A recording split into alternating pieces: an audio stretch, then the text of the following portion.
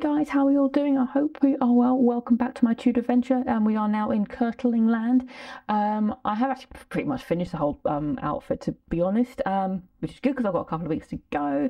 Um, but this will be the last full video that I do for this particular um, outfit. I will do a little bit of a roundup on a couple of other things that I've made pretty much off camera but you'll know you'll you'll get the full full reveal soon enough. Um, so today we are going to carry on and we're going to talk about the kirtle. So you can see I've made the smock, I've made my French hood. Um, so what about the main? What about the main item itself? So let's have a look and see what I get up to.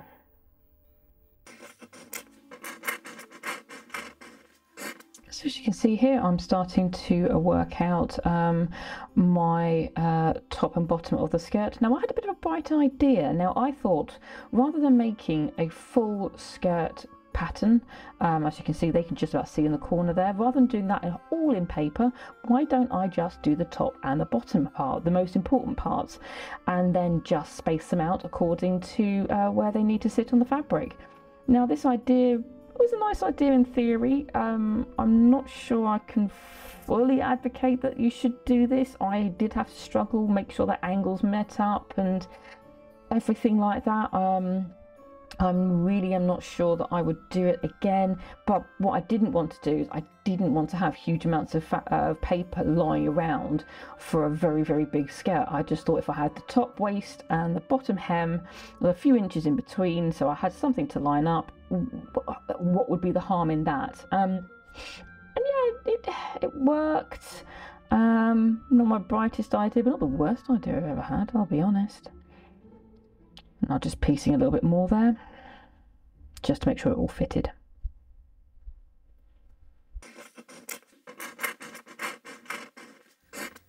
So here's me now pinning um, the skirt pattern pieces to the lining. As you can see, it's quite a bit narrow.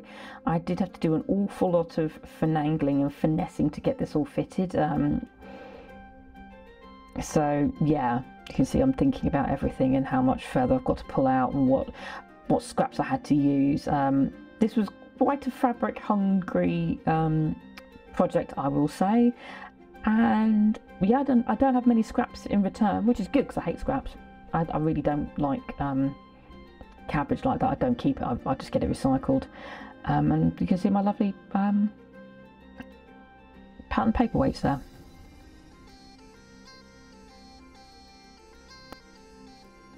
That's me just adding some seam allowance to the top uh, side and bottom.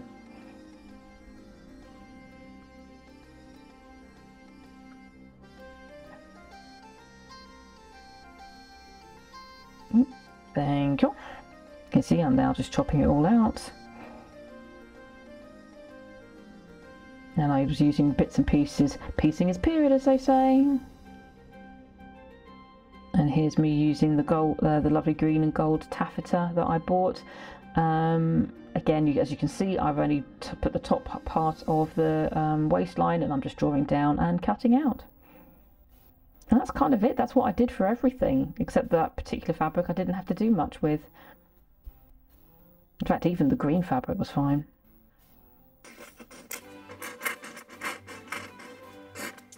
So here's me trying to work out my uh, cartridge pleats for the back of um, my dress. This took an extremely long amount of time because it didn't evenly spread itself out. It was something like 12.38 inches or 2.38 inches or something like that. It wasn't even.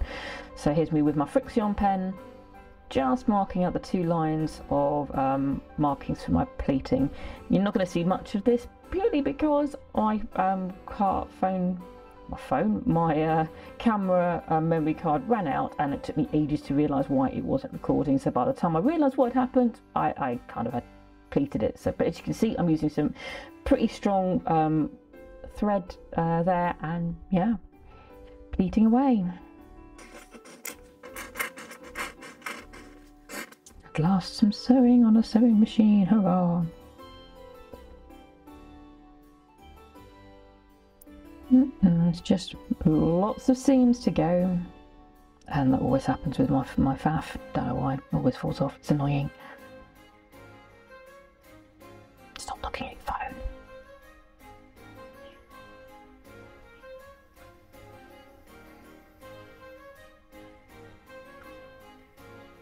And lots more seams. All I can say is thank God this skirt was lying because I really did not want to fell any of these down.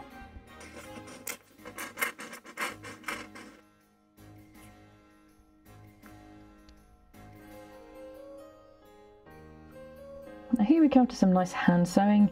Um, I'm sewing in the eyelets. Now the book suggests that you put in, you don't see much of it because it is quite a laborious boring task.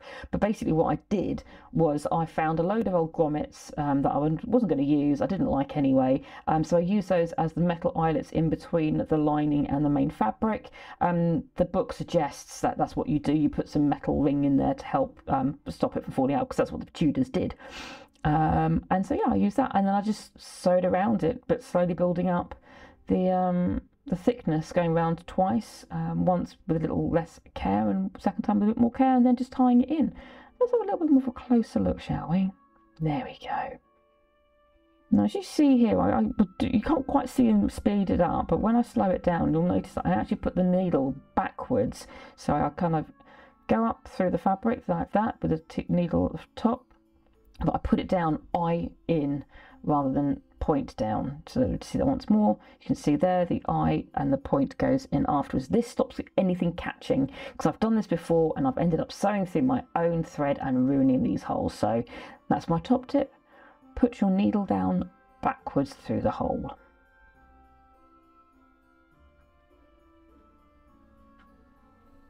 I actually quite enjoyed this, funny enough. Even though it was slightly annoying at times. Took a long time as well. There we go, that's what they look like. Ready and waiting for the cord. And there we have it. I didn't show too much of the whole process because a lot of it was just some very long, boring, straight sewing. And I, all the hem, yeah, because I don't have a tailor's dummy, I couldn't get the hem, the, the hem to line up, so I had to do a lot of it on the ground. And it, you know what it's like? You know, I don't want to overdo some of these videos, especially when it's just boring, run of the mill stuff. But in a moment you shall see the Kirtle in a full outfit. You're not going to see everything. I told you there's no, no full reveals until the main day, but you will see her in a minute. See you in a minute.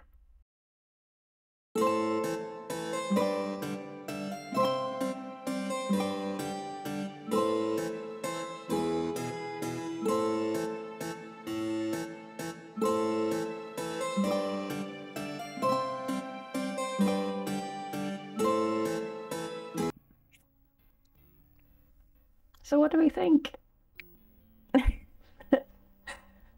wee, wee, woohoo, swoosh. But I am so pleased with this. I can't quite believe it. I'll be honest. It fits like a glove, but I am so ding dang doodly, or should that be dingeth dangeth doodlieth? I'm just pleased with this, guys. Come on. I mean, you'll see I've got a couple of holes here for my sleeves. And I've got my... I this feels too low. I, I feel a bit subconscious about this bit, but uh, I think that's how it's meant to be. But I really... It's basically what I had in my head is what I'm wearing right now, and that so rarely happens. So I'm absolutely pleased with how it's gone like I said, it fits really nicely. It's not too heavy actually. I thought it was going to be heavier. It weighs a ton on the, the hanger. But as you can see, look at the cartridge pleating. As even as I can make it. Ooh, ooh. It's giving me all this fullness. Now you're probably thinking, Harding, where are the pockets?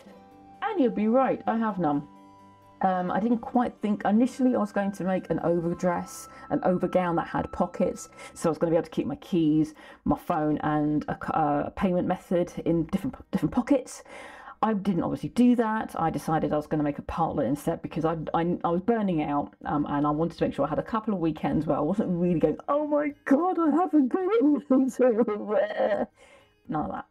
Um, so what I am doing is I'm going to make, I may film it, I'm not sure, um, basically a purse made out of some fabric that will be a part of the ensemble piece. Um, and I'm just going to attach it around my waist with the bag belt that I already have. I might wrap it up just to kind of make it fit in. but there you go. So I have to make a purse so that I'll, I'll be able to carry my keys, my phone, and something to pay with, um, because it is a little bit of a pub crawl. I will be honest, but hey, I am so pleased. I think I look very legal. I think Lettice would be pleased. Although admittedly, I now realise that I'm wearing green, and I've called her Lettice. I'm pretty sure that's Freudian. I didn't do it deliberately, but I like the name, and it's great. Anyway, there we go. It took a long time, I'll be honest, and I really probably could have done with some embellishment on here. I know that in um, in other times, you know, more the higher up the social strata you were, the more money you had, and because Lettice would have been part of um, a merchant, a cloth merchant, they probably would have had access to a few more jewels. But you can see there's a lot of diamonds here. I didn't have anything big enough. I didn't have the stomach for it. I know. So I'm just going to have to leave it as it is. But it's perfectly fine. I'm really happy with it. And yeah, so hopefully you'll um, be watching, wanting to watch some more historical stuff. I will be doing modern and historical sewing. I may be doing some other bits and pieces. Ooh, excuse my stomach. But if you enjoyed this, please share, please like, please subscribe. It means a lot to me. It really does. I know every subscriber that I have means a lot to me. But yeah, you know, we always like to see the numbers increasing, don't we? Let's be honest. It's that endorphin hit. But this has been a Crazy Cat Lady Productions. You've been watching an unoriginal idea. Until next time, guys, take care. Bye bye.